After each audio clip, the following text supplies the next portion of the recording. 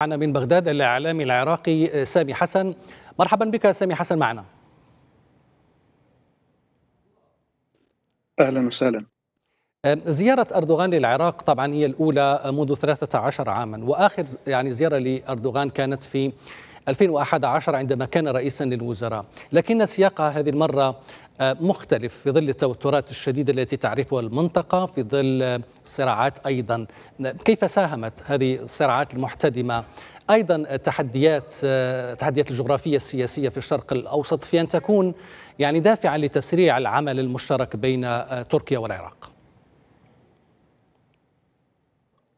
شكرا بسم الله الرحمن الرحيم.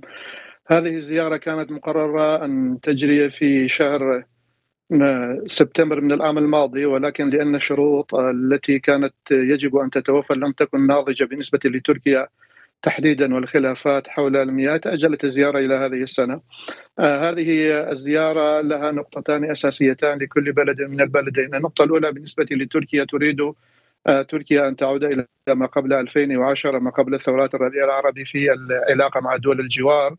بالإضافة إلى قضية الأمن. المسألة الأمنية بالنسبة لتركيا هي أساسية جدا وتريد أن تصل إلى حل لهذه المسألة خاصة بأن عناصر حزب العمال الكردستاني موجودين داخل الأراضي العراقية.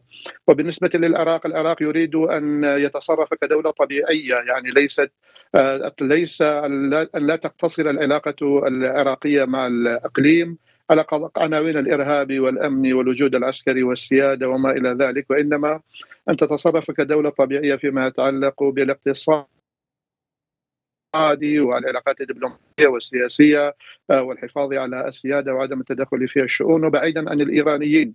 هذه الزيارة هي الأهمية بالنسبة لتطبيع علاقات نوعا ما مع البلدين. ولكن هنالك أعمدة أعمدة لهذه الزيارة، العمود الأول الأساسي هو الأمن.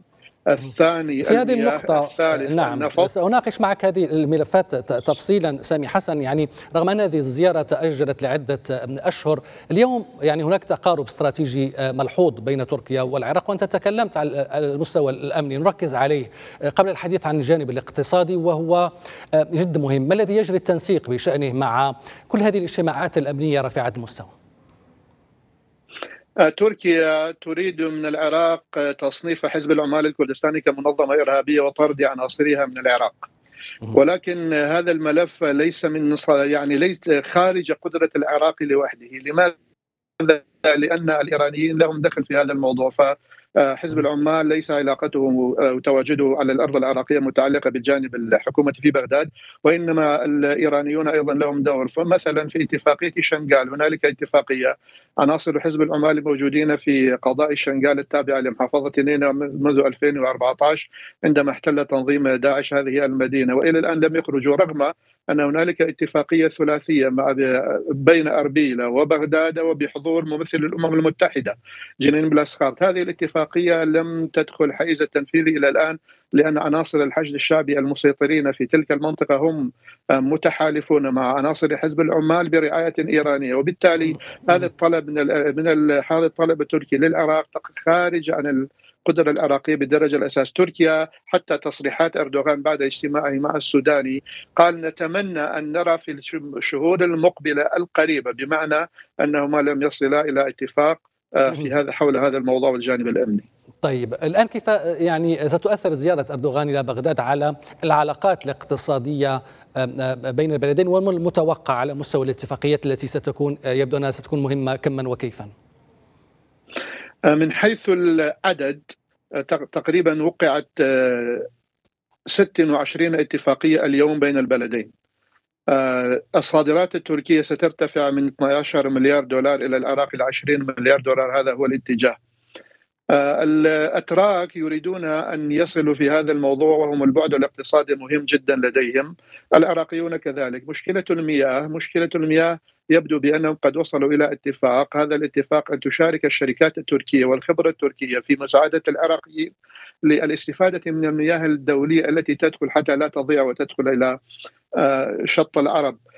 السبعين بالمئة. هنالك قضية أيضا متعلقة من حيث الصادرات والواردات بين العراق وتركيا متعلقة بإقليم كردستان لأن السبعين بالمئة من الصادرات وصادرات تركيا إلى العراق تمر عبر المنافذ التي هي تحت سيطرة إقليم كردستان. وبالتالي هذه القضية أيضا مهمة. أيضا اتفق مسألة طريق التنمية. طريق التنمية أيضا وقعت اتفاقية فيما بين ما الأهمية الاستراتيجية لهذا الطريق؟ عفوا على مقاطعتك. يعني طريق التنمية مشروع بري وسككي مهم يمتد من العراق إلى تركيا ربما على مسافة 1200 كيلومتر داخل العراق. ما الأهمية الاستراتيجية لهذا الطريق؟ ومن الشركاء الحاليون؟ وأيضا سمعنا أن هناك شركاء مستقبليين. لا بالنسبة للأهمية الاستراتيجية التاريخية لتركيا آه، لأن هذا الطريق كان موجودا يعني في زمن العثمانيين. كان أساسه موجود بين بصرة وبغداد والموصل باتجاه أظن حلب على الأراضي تركيا التي كانت تحت السيطرة العثمانية أيضا في ذلك الوقت. وبالنسبة للعراق مهم لأنه يمتلك طريقا بريا امنا على عصريا يربطه بين يعني انفتاح اقتصادي وسياحي بين العراق وبين الدول الأوروبية، الشركاء هم الذين بإضافة إلى أنقرة وبغداد آه، آه، قطر والإمارات، اليوم وقع اتفاق رباعي بين هذه الأطراف الأربعة بناء هذه هذا المشروع الذي يكلف 17 مليار دولار لا أدري هل هنالك شركاء مستقبليون أم لا ولكن مسألة قضية مهمة جدا خاصة بالنسبة للعراق الذي يعاني من رداءة نوعية التواصل أو وسائل التنقل معه بينه وبين الدول الأخرى. أشكرك جزيل الشكر سامي حسن الإعلامي العراقي وكنت معنا من بغداد.